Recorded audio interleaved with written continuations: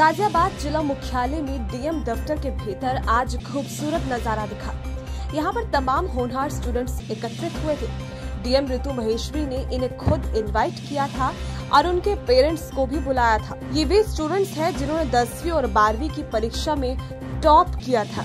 Students के parents को भी इस दौरान बधाई दी गई। जिला प्रशासन के तमाम अधिकारी इस दौरान मौजूद रहे।